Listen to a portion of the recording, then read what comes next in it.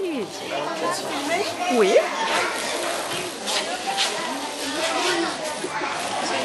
Una palabra de la parte de la directora, por favor. Eh, soy la directora de la escuela. Agradecemos al grupo de voluntarios de por la colaboración que han hecho a este establecimiento, por todo lo que es eh, reparación, pintura, eh, también a la Fundación Bombardier por eh, la colaboración en cuanto a los útiles para los niños de esta comunidad. Eh, todos les agradecemos, especialmente los niños y padres de familia.